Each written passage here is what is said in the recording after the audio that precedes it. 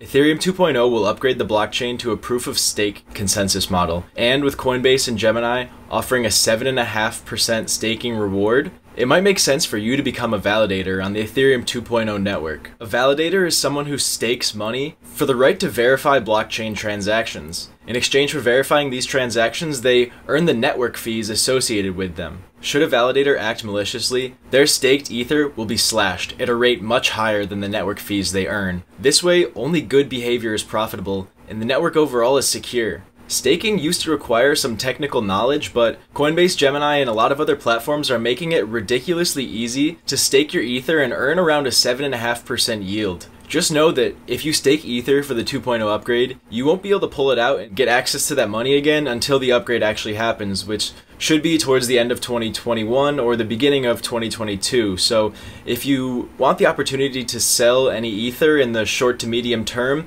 you probably shouldn't stake it. On the flip side, if you're holding Ether for the long term, it's kind of a no-brainer to earn an extra 7.5% while you can.